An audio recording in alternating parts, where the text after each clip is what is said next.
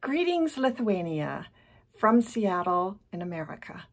Welcome to this conference. There are just so many good topics that are being presented today. I'm only sorry that I won't be there to hear about them in person. Perhaps one day I'll be able to come and see you there in your country.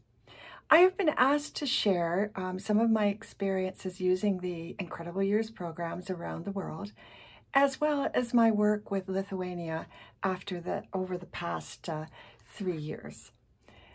So first, why is it that we need to use evidence-based parent programs in the first place?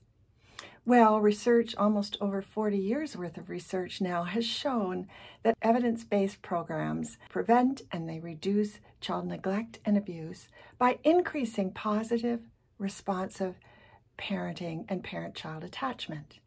In addition to that, they've been shown to reduce parental depression uh, and increase parents' confidence, as well as to promote children's optimal development and reduce behavior problems. However, unfortunately, uh, a large portion of families ever receive an evidence-based program. What do we know about children that are involved in the child welfare services? We do know that these children have high rates of emotional and social problems. They often can have academic difficulties or language delays or developmental issues, and many may have a diagnosis, about 40% in fact, of attention deficit disorder or conduct disorders, anxiety, depression, or being on the autism spectrum. What are the longer term effects for children that have been um, had experience that have been adverse experiences, life events, um, abuse, or neglect? We do know that these children are at higher risk for things like school dropout, academic failure, substance abuse, and violence in later years. And we do that see that a significant number of children, even as young as age three, um, having been abused or neglected, are found to have 2.5 as many criminal convictions by the time they're 21 years, compared to those not at risk. So the earlier the evidence-based parent and child programs are provided, the better. Um, it promotes secure parenting and attachment and reduces the risk for neglect and abuse, thereby uh, promoting the uh, well-being and the safety of these children. Early prevention of child neglect and abuse is a worthwhile investment. The diversion of even one child off uh, a life of crime results in significant uh, cost benefits. So Thanks to the Lithuanian government for investing in the Incredible Years parent programs, why did they select this particular evidence-based program? Well, first, just let me mention what it means to be evidence-based. And this means that it's a program that has had some of the following research characteristics. That is, that there's at least two peer review published papers on the effects of the program and these studies have used randomized controlled trials, which is really key. And there is also at least one independent randomized controlled trial by an independent investigator, somebody outside of the, the developer's um, network that could has been able to get the same results. That the studies have used reliable and valid measures and not just parent report data, but data from parents, from teachers, as well as independent observations of the parent-child interactions and standardized assessments of the children themselves. And we have at least one year follow-up telling us about the sustainability of the results over time. So these are the criteria you would look for in terms of determining whether or not this is an evidence-based program.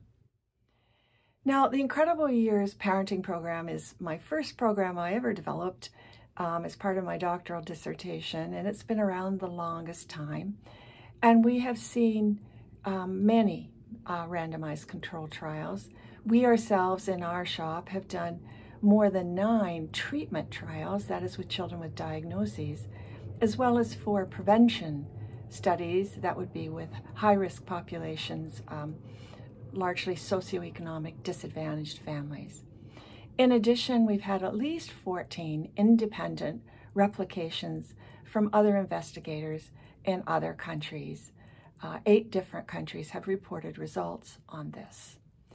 We have found consistent results across all of these studies in terms of promoting positive parenting, parent-child attachment, decreasing the uh, harsh discipline, decreasing parents' depression, and increasing their self-confidence, as well as reducing child behavior problems and increasing their social competence and their, social, their uh, school readiness skills. These effects have been found with high-risk populations, uh, also with families that have been referred to child welfare programs because of, of neglect or abuse. So Lithuania decided to spotlight the preschool basic program for children ages three to six years. There are our numbers. You can see here there are five different programs, um, basic uh, programs for children, parents of children according to the age of the children, and they chose the three to six year old age range. The parenting pyramid is the roadmap for this program, and we focus a lot on building a strong foundation at the bottom of this pyramid uh, before we go into some of the proactive discipline methods. Now, what were the, Lith the Lithuanian goals in, in 2019? I went back and looked at their application to me, um, and in fact, it was the second application where they revised them to see what they said then and then compared that with where we are now. So we found in their, the document here, you can see on the right, was the actual document that I received, that in 2020, they plan to select and train their first batch of 20 Incredible Years group leaders to deliver this basic program and to spread the positive message of Incredible Years in Lithuania. They plan to run 20 parent groups each year, so they would have a total of 40 over two years. They plan to to translate the parent handouts. And they plan to, their goal was to have at least 10 um, group leaders accredited. One of the things I want to remark on about my work with Lithuania was we spent many months planning before we started anything. They were really an incredible team of people who thought carefully about where they were going to deliver the program, who they were going to train, um, I've listed three of the people here, um, but I know that there were more involved in that. But those are the ones that I recently had um, a consultation with online, so I've included them here. They're delightful to work with. They are dedicated to the quality delivery of the program. And what was decided was to choose the strongest mental health institutions for program delivery and to choose the best qualified group leaders uh, those would be people who had a master's degree in nursing or psychology or teaching or social work and had had extensive experience working with families and their children. The plan was to offer four days, four full days of in-person training and to provide ongoing regular consultation, consultations in person after that as they began to deliver the program. But as you all know, uh, COVID kind of jumped in the middle of all of this careful planning. Uh, and we then had to uh, adapt. And I will say that Lithuania did an absolutely tremendous job of adapting to online training. So we offered the training online, 20 in the first year and 20 in the second year, and there are pictures of these people below that we trained. And the group leaders themselves then began to train online with their parents. For those of you who don't know, the program comes with an extensive leader manual with video clips to show the parents, uh, posters and books for the parents and the group leaders as well. The program itself is developmentally based on this age range, three to six. It's culturally sensitive um, and it addresses the participants' goals, what they want for the long term to accomplish with their with their own parenting and with their children. It is a collaborative training process. It is not didactic. It involves a lot of interactions and discussions and problem solving. Um, learning some of the principles of behavior change and then they adapt them to their goals. It is based on self reflection, on parents thinking about what they do, what they want to do differently, as well as uh, a lot of experiential work, practicing doing things in group and practicing certain ideas at home with their children. Programs methods include videotape, modeling, uh, live modeling as well, uh, focusing on the cognitions, the feelings, and the behaviors, all three uh, equally. Um, the, each week, the parents set some goals for themselves to what they think they can achieve and have home practice activities. And the program is sensitive to the socioeconomic barriers. Um, and so we're careful with trying to make sure that transportation is provided, daycare is provided, and oftentimes dinner. Program adapts to the cultural or the um, contextual or the family differences so, for example, because it was COVID, we adapted to the particular issues that families were having with having children at home and not being in school and managing their jobs and so on.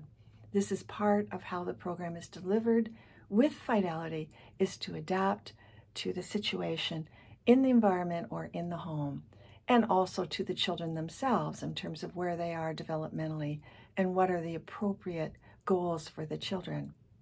So what did we get? Here's the celebration I hope you are all going to have today. And that is that Lithuania more than met their goals, they exceeded their goals.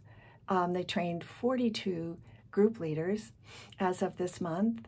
14 of them um, as of this month are accredited. Oh, it is really an is awesome results. So in terms of just where else we use the program, I was asked to talk a little bit about that. We're in over 20 countries and actually have trained over 71,000 group leaders. So we're a, a cadre of colleagues working together to try to bring out the best in our children's social, emotional, and academic outcomes. This slide just shows you some of the other countries and the numbers of people that they've trained. And while Lithuania has trained the fewest, I know they are going to get up there um, in the next few years. I am not at all worried about it. Um, this just tells you some of the countries, Baltic countries, United Kingdom, Europe, Canada, uh, New Zealand, and so forth. So in summary, research paints a picture of hope and warning for us. Uh, it tells us the importance of providing parents with adequate support systems to help them build their own um, support systems as well as to build their bonds with their children. It tells us the importance of teaching children social and emotional skills, language skills, particularly for families in high risk uh, family situations. It warns us about the risks if we don't provide these environmental supports for children, um, particularly for children involved or have been referred by child welfare.